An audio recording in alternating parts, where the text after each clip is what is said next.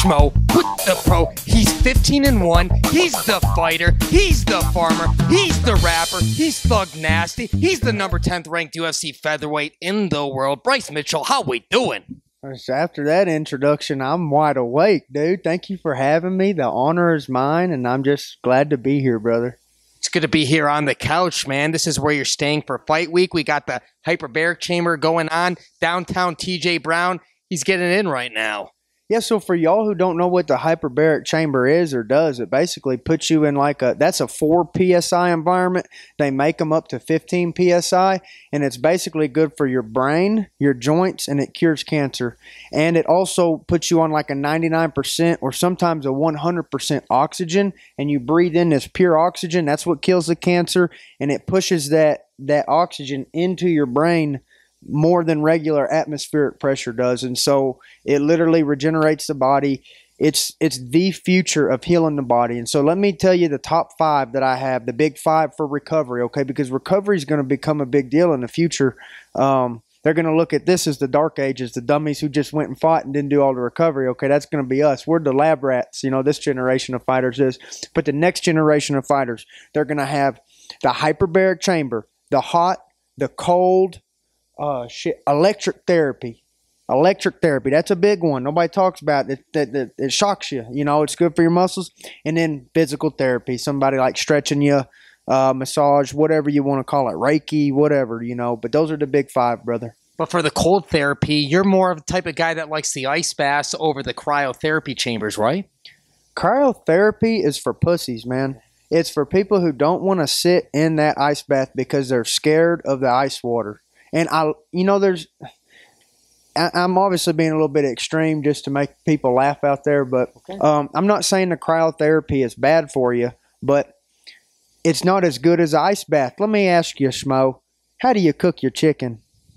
Well, Schmo, make sure it's cooked all the way through. We don't let it be pink over there. But also, on the quick side note, we agree with you. Hyperbaric chambers are great. Yes. Cryotherapy, not so good, especially when you got the ice bath.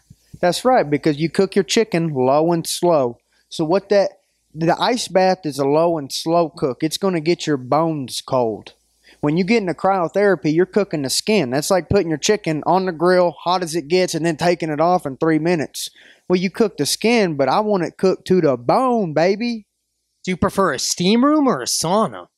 Shoot. Um, I don't like either of them. I like the hot tubs because you can't breathe in in the sauna in the steam room. You can't breathe in cool air, and so my lungs get hot, and then that makes your brain hot.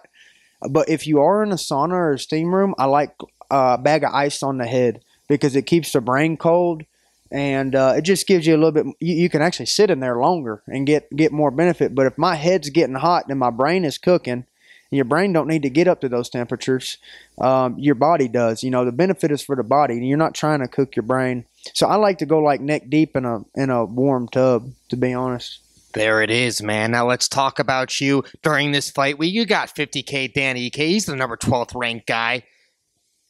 This thing's been brewing for years, hasn't it? yep it's it's been brewing the pot's been stirred brother and we're we're cooking up a uh something special on saturday Something special. yeah i can't ruin a surprise but um, something special is going to happen. I hope everybody can watch it on september 23rd this saturday because i'm going to make history. There's uh, me and dan are both going to make history. We're going to do something that has never been done in the ufc before and uh, i'm not going to ruin a surprise but trust me it's cooking Well, you already had all the schmoes out there with that twister over there in Washington, D.C. during that fight night. The schmo was there for it. That's a rarity. So we all know that you can always do some special things, Thug Nasty. well, i'm glad somebody thinks so brother Yeah, we certainly do, man. But how important would you say is this fight just for the own psyche? We're not talking about just pecking order of things in this division, but because the schmo knows he had to pull out of the last fight. You've been dealing with the back injuries and stuff like that. And then obviously you had the first professional loss to Ilya Topuria. How important is this one for you, Thug Nasty? you know, two fights ago I was sick. My last fight, my back locked up on me. I couldn't even make it to the fight, so I had to pull out. Made me look like a coward. And then, uh, you know, like the devil's just been throwing all these things at me. The devil's been playing every card he's got. But what the devil don't know is right now I'm sitting on a royal flush. And I'm just putting all my chips in. And the devil's trying to call my bluff, but I ain't bluffing. I'm telling you right now, I'm gonna putting all my chips into this fight, and you're going to see the true warrior Bryce Mitchell revealed. Was the devil hanging around your ex girlfriend? She was doing some crazy stuff to the property. The schmo saw you making that announcement on social media.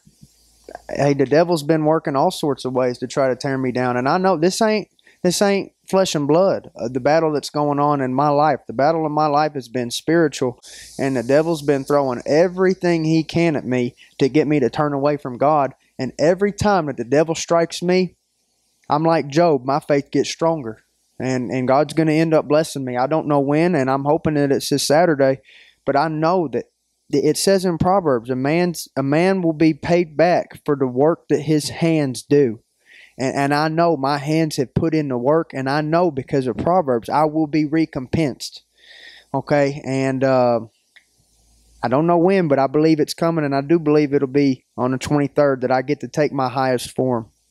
Co-main event. All the schmoes can't wait to see it. But what's keeping you schmotivated right now, Bryce, in this fight game, man? Because there's a lot of things, a lot of talents that you have outside of the cage work.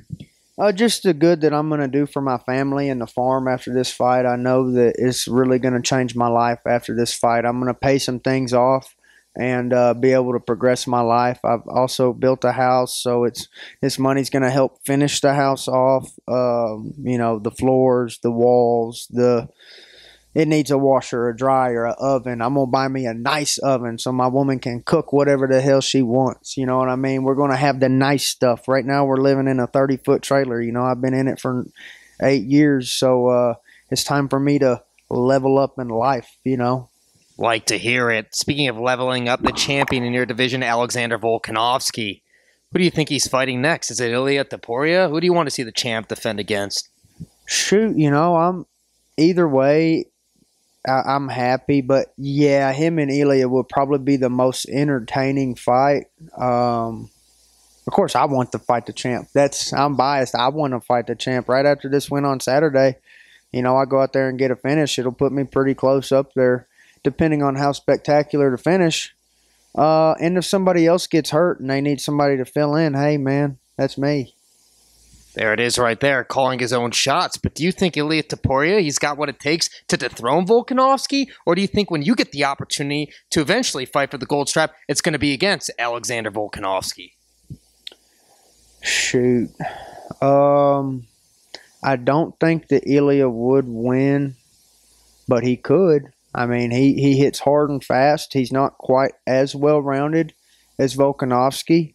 And, um, but that would be a great fight. But yeah, that's that would be that. I want to win this fight and then fight one of those people up top, man. You know, I, I don't. I'm tired of sitting in the the back of the bus, man. I'm trying to come up to the front, and you know, it's like I, I feel that I know I can hang with these guys, and I just feel like I haven't got my shot yet. And when I did beat the, my first top 10 guy, instead of moving me up, they moved me back and I went backwards in rank. And uh, you can only do that for so long. The truth will be revealed. You mark my words, the truth will be revealed. I will get my chance. I will show what I'm capable of. They can bullshit me for a little bit, but eventually the truth comes to light. The cream rises to the top. You cannot stop destiny. Shout out Macho Man Randy Savage. Now, as a proud American citizen who doesn't believe in that TikTok dancing. Yep. What would you like to say to all the Bryce Mitchell fans out there worldwide? I love you guys with all my heart. Thank you for watching when I fight. And um, shoot, thank you. He's the pro. I'm the schmo. Las Vegas. We're out. Let's go.